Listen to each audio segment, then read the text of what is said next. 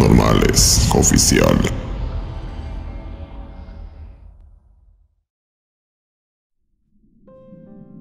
Muchas son las veces en las que las malas energías se adueñan de lugares abandonados, pero no solo eso, sino que también pueden pegarse a objetos, tales como la ropa o las paredes de un hogar, y cuando esto último ocurre, es muy complicado deshacerse de ellas. Pero ¿qué pasa si esa mala energía viene acompañada de una mala persona, como en el caso de esta historia? Quiero compartir mi experiencia personal con todos ustedes, y lo hago con la única intención de que sepan de qué hacer en dado caso que se encuentren con una situación similar, y especialmente se den cuenta si en su casa habita un ser demoníaco o entidad fantasmal. Todo esto que les voy a contar tiene lugar en el año del 2020. En ese tiempo mis lindos abuelos perdieron la vida en un accidente automovilístico. A raíz de ese percance, mi familia se deprimió demasiado y poco a poco se vinieron abajo. Realmente fue una noticia que nadie esperaba, por lo que aquella casa que fue de los abuelos quedó en el abandono, la cual se encuentra en Zumpango, Estado de México. A partir de esa fecha mis tíos y mis padres ya no quisieron saber nada de esa propiedad, no querían ver ninguna foto de ellos, y ni mucho menos querían escuchar una palabra de mis abuelos. Es como si quisieran borrar todo recuerdo que tuvieron de ellos. El tiempo fue tomando su curso y gracias a Dios conseguí continuar mis estudios en licenciatura de enfermería. Para ello, entré a una universidad, misma que se encuentra en el Estado de México, exactamente en Zumpango. He de mencionar que en ese entonces vivía en el centro de la Ciudad de México y me quedaba algo retirado ir a la escuela. Fue ahí que se me ocurrió una idea. Tomé la decisión de hablar con mi familia y pedir su permiso para quedarme en aquella casa que fue de los abuelos. Argumenté que me la prestaran un tiempo, solo en lo que terminaba de estudiar. Ellos no se negaron, pensaron que era una buena idea, así la propiedad no estaría sola y habría alguien que la cuidara. Créanme que en un principio me arrepentí de esa decisión que había tomado. Iba a dejar mis comodidades de la ciudad, mas sabía que sería algo temporal. Además, el municipio no era malo, al contrario, era agradable y grande. Sin embargo, tenía un problema que no tomé en cuenta, el cual era mantener los gastos de la casa, algo que se me complicó demasiado. Así que pensé en una solución. Renté uno de los tantos cuartos que tenía esta propiedad. En un principio me costó encontrar a un inquilino, ya que para empezar casi no conocía a nadie de esa colonia y especialmente porque la casa estaba alejada de la zona céntrica de Zumpango, aunque por suerte todo cambió después. Un taquero en donde comía regularmente se enteró de que yo rentaba un cuarto, así que me dijo que él conocía a una persona que le urgía rentar un dormitorio, mismo que necesitaba solo para descansar, ya que la mayor parte del tiempo se hallaba saturado de trabajo. Al escuchar sus palabras casi de inmediato le pregunté si es que era una persona de confianza, a lo que respondió con las siguientes palabras. Pues verá, amigo, él es como todas las personas que viven en San Juan Citlaltepec, el famoso pueblo de las brujas. Esto lo dijo al mismo tiempo que en su cara se dibujaba una sonrisa. No entendí de qué hablaba o a qué se refería con su sarcasmo, Pensé que quizá era una broma de mal gusto, a lo que no le di importancia. Aquel señor amablemente me dio el número de esa persona para que la llamara y platicara con ella. En un principio estaba dudoso, pero por otro lado, tenía que sacar un dinero para los gastos del hogar. Finalmente me animé a llamarle por teléfono y luego de una larga charla cerramos trato, siendo de esta manera que a los dos días se vino a vivir a la casa el nombre de mi inquilino era Roberto. Mientras compartí espacio con esta persona, sucedieron un sinfín de aterradores eventos, donde al día de hoy estoy seguro que fue él quien trajo a una entidad demoníaca, si no es que hasta el mismo diablo. Y es que desde que este señor llegó a mi hogar, ese ser demoníaco rápidamente se adueñó de la casa. Me gustaría decir el nombre de la calle, en donde está ubicada esta propiedad, pero mejor me reservo el dato, más que nada por una simple razón, temas de seguridad. No quisiera que llegaran a quemar esta casa. Solo voy a mencionar que se encuentra muy cerca de los dos hospitales más importantes de Zumpango. A los pocos días de que Roberto llegó, empezaron a suceder cosas muy extrañas. De la noche a la mañana, uno que otro vaso de la cocina se rompía o salía disparado por el aire, y estos eventos generalmente tenían lugar durante la madrugada. Cuando escuchaba esa serie de sonidos, trataba de pensar que eran causados por mis tres gatos que tenía en casa. Imaginaba que al andar de traviesos tiraban las cosas, sin saber que eran provocados por terribles manifestaciones. Mi inquilino era una persona extraña. Efectivamente trabajaba durante la mayor parte del día y por las noches solo llegaba a descansar. Lo peculiar de esto es que cerca de su cuarto se percibía un raro aroma. Algunas veces olía como a chile quemado, en otras ocasiones como a hierbas o alcohol, y otras veces como a carne podrida. Siendo sincero, me costó mucho adaptarme a su forma de vivir y convivencia. Por mi mente cruzaba la idea de sacarlo de la casa, pero en verdad necesitaba el dinero, así que mejor opté por aguantar y seguir estudiando de manera normal, aunque poco a poco los eventos paranormales fueron en aumento. Unos días más tarde, y al llegar de la escuela, y mientras mi inquilino no estaba, encontré que mis pertenencias estaban tiradas por todas partes, como la ropa, perfumes, algunos cuadros de las paredes y muchos trastes. En pocas palabras, era un completo desastre. No obstante, esa situación se repitió muchas veces después. Los días fueron tomando su curso. Durante la noche escuchaba cómo las sillas se movían por sí solas. Los objetos continuaban cayéndose. Y el día menos pensado, la televisión que se encontraba en la casa se cayó al suelo de forma misteriosa.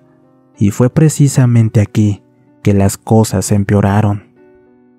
Traté de encontrar una respuesta lógica a toda esta situación, pero por más que le di vueltas al asunto, no encontré nada que me explicara el motivo. Lo único que para mí tenía sentido es que mi inquilino era el culpable, no había otra razón. Aunque pronto me di cuenta que él no era el causante de estos problemas, pero sí el motivo de estas manifestaciones. Una tarde me fui al centro de Zompango a cenar con una amiga, quien también era estudiante de la misma escuela que yo. Al terminar de comer, nos fuimos a visitar a un amigo, esto mismo en Zumpango. El nombre de mi compañero era Luis. Al igual que yo, también vivía en una casa sola, la cual estaba rentando. Esa noche se reunieron otros colegas de la universidad y entre todos hicimos una fiesta, Bebimos y bailamos hasta tarde. Luego de haber pasado unas horas, tuve que ir a dejar a mi amiga, pero una vez la dejé, regresé a la fiesta, mas solo estuve un rato, ya que después me fui a la casa, la cual me quedaba relativamente cerca. La verdad es que a pesar de haber ingerido alcohol, no me sentía borracho, me sentía muy bien. Me acerqué a mi casa y abrí la puerta, y lo primero que vi al entrar fue que de nuevo la casa era un completo desorden. Las sillas del comedor estaban tiradas, de igual manera, la sala era un caos. De primer momento pensé que tal vez se habían metido a robar. Al ver mi entorno, me di cuenta que la luz del cuarto de mi inquilino se hallaba prendida. Rápidamente me acerqué para ver si estaba y preguntarle qué fue lo que pasó, mas él no se encontraba. De hecho, no llegó en toda la noche. Al no encontrarlo en su habitación, apagué la luz del cuarto. Luego regresé a la sala, observando a detalle las cosas y viendo si faltaba algo de valor. Fue entonces que al estar examinando, pude apreciar que un hombre vestido de negro estaba parado afuera de mi cuarto. Al verlo corría toda prisa hacia él. Esta persona no perdió tiempo y entró a mi habitación al mismo tiempo que cerró la puerta. Intenté abrirla una y otra vez, pero no pude. Aquella persona la tenía atorada. Así que al estar intentando abrir, De pronto un fuerte ruido se escuchó en el baño, el cual me provocó un tremendo susto. Imaginé que tal vez había otra persona en la casa. Por tal motivo fui a investigar, no sin antes ir a la cocina y tomar un cuchillo. Me acerqué al baño y lentamente abrí la puerta, solo para darme cuenta que no había nadie, más que solo mis tres gatos, arrinconados en una esquina, temblando de miedo. Al ver con atención pude apreciar que el champú estaba en la taza, un vaso de vidrio que tenía se encontraba roto, pero lo más aterrador es que en el espejo había escrito una palabra, el nombre de un demonio, Belial. Finalmente salí del baño, pensando en qué rayo sucedía. Al salir, observé que mi cuarto estaba abierto, así que me acerqué para ver si aún encontraba a ese sujeto, mas ya no vi a nadie. Volví a la sala y me di cuenta que las fotografías de los abuelos permanecían en el suelo. Sin duda alguna, algo me decía que esto no era normal.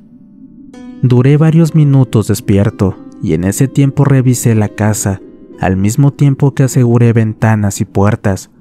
Una vez terminé, me fui al cuarto a descansar. La verdad es que me sentía agotado y solo quería dormir un rato.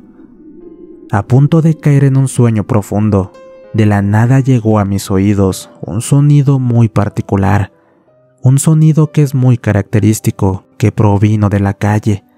Era el llanto de un niño. Él lloraba por su madre y decía que le extrañaba. Creí que tal vez el pequeño se había perdido o alguien intencionalmente lo dejó ahí. Me asomé por la ventana para ver cómo era y si es que podía ayudarlo, pero al asomarme solo vi una calle vacía, a excepción de un gato parado sobre la banqueta. No le di más importancia y lo dejé ahí maullando. Este felino siguió causando escándalo, y les juro que su maullido cada vez más se parecía al llanto de un niño pequeño. Furioso me levanté de la cama con la intención de salir y espantarlo, aunque en ese instante me arrepentí y mejor decidí darle un poco de comida, quizá por esas razones que maullaba.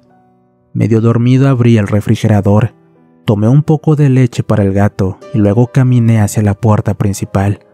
Justo antes de abrirla, de la nada escuché cómo cayeron un par de canicas en el suelo. Después como si algo empezara a rasguñar las paredes de la casa.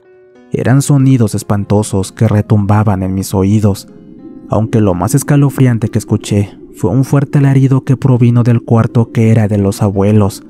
En ese momento no sabía qué hacer, me estaba volviendo loco, y más porque nada tenía sentido. En primera porque no había nadie, y en segunda, era evidente que algo macabro llegó a la casa, y esa criatura o demonio no era bienvenido. Poco a poco todo volvió a la calma. Mientras tanto, observaba cada rincón de la casa como si esperara otra manifestación. Fue entonces que aprecié que la puerta de la habitación de Roberto se abrió por sí sola. Con un poco de temor me acerqué, prendí la luz y no vi nada extraño, o al menos eso fue de momento, ya que cuando me retiraba miré algo aterrador. En el fondo de la habitación, a un costado de un mueble, se encontraba dibujado un pentagrama con tinta roja. De igual manera vi muchas velas negras y lo que parecían ser manchas de sangre. En pocas palabras, todo era parte de un ritual demoníaco. Sumamente asustado volví a mi cuarto, con la esperanza de que ya no hubiera manifestaciones. Sin embargo, me equivoqué. El mismo sonido de las canicas volvió a presentarse. En esta ocasión el sonido fue más intenso. No sabía cómo detener eso, y lo único que se me ocurrió fue dejar prendida la luz del cuarto siendo de esta manera que ese sonido desapareció. Y si creían que la pesadilla estaba por terminar, les aseguro que no fue así, aún faltaba lo más aterrador. A eso de las 4 de la madrugada, tocaron la puerta principal, tocaron tres veces seguidas. Pensé que tal vez sería Roberto, quien había olvidado sus llaves. Salí para abrir, y al hacerlo me di cuenta que afuera en la calle no se encontraba nadie, solo una calle vacía sumergida en la oscuridad.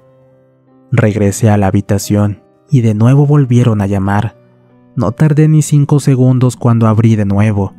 Todo estaba solitario. Cerré la puerta y esta vez me quedé cerca de una ventana en donde se puede apreciar si es que alguien toca la puerta.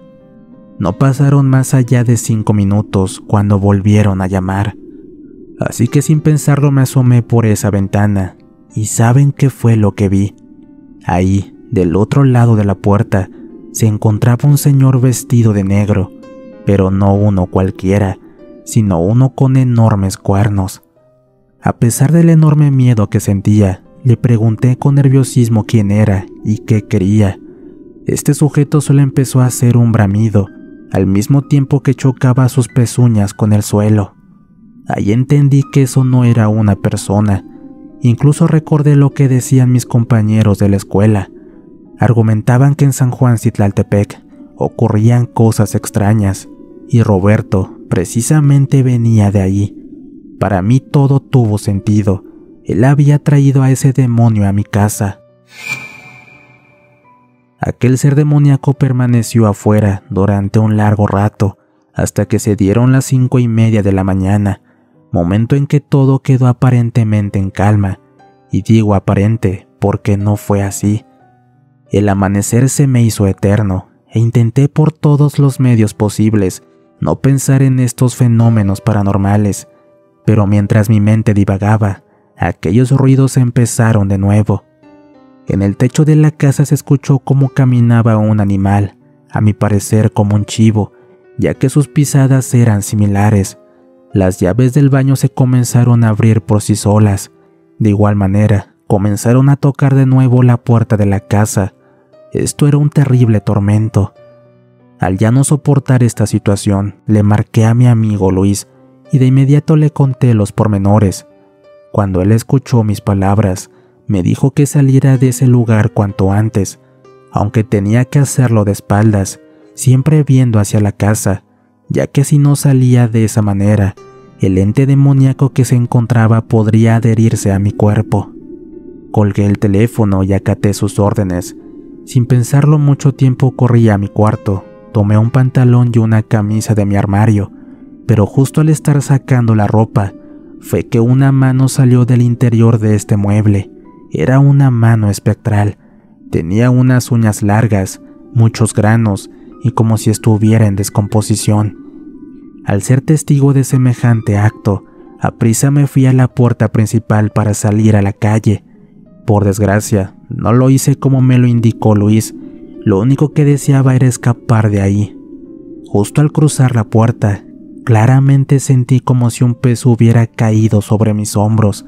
Fue algo tan pesado que me hizo caer al suelo. Con dificultad me levanté y al momento de estar haciéndolo, ese peso fue desapareciendo.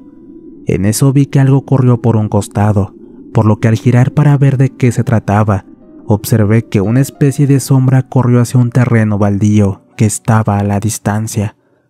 Lleno de miedo me fui a la casa de mi amigo y ahí me la pasé hasta el mediodía. Después él me acompañó a la propiedad para sacar mis pertenencias, pues ya no quería permanecer un solo día más en ese sitio. Pero es precisamente aquí donde descubrimos la realidad, el porqué de los fenómenos. Resulta que el inquilino jamás regresó. Él era uno de los mejores brujos de Zumpango, quien me rentó el cuarto con la única intención de hacer sus macabros trabajos de brujería, mismos que quemamos esa tarde. Pero por desgracia, ese ser demoníaco que liberó de sus invocaciones escapó de la casa justo la noche en que me salí y me tiró al suelo. Seguramente se encuentra invadiendo o infectando alguna casa cercana. Aquel inquilino ya nunca lo volví a ver. En cuanto a mí, renté un departamento cerca y hasta la fecha nadie habita esa casa de los abuelos y tampoco nadie la quiere comprar. Así que tengan mucho cuidado a quien dejan entrar a su casa. No vaya a ser que le abran la puerta al diablo. ¿Qué tal amigos? ¿Cómo están? Espero esta historia de terror haya sido de su agrado. No olviden suscribirse y activar la campanita, así como compartir el contenido. Les dejo otros videos por aquí en pantalla para que los vean.